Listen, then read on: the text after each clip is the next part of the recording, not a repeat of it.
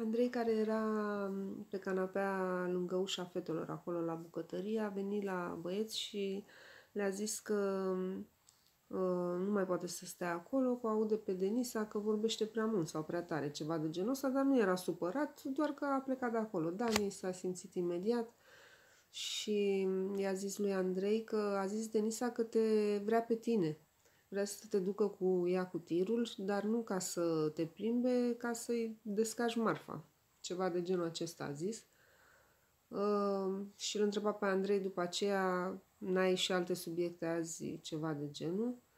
Uh, apoi Alex a pus o întrebare, lui Mihai a pus o întrebare uh, dacă ar vedea-o cu vreun băiat pe Denisa și Mihai uh, pentru că și fusese contextul acesta al discuției cu Andrei, um, a zis, n-aș vedea-o cu niciunul, am văzut și noi sezonul 2, am văzut mai multe despre Denisa, am aflat, dar ce a aflat n-am mai zis, um, doar că i-a închis gura lui Dani și nu s-a mai luat de Andrei. Acum nu știu, Andrei nu-și dă seama că, sau își dă, habar n-am, că băieții fac glume între ei și lui nu-i permit.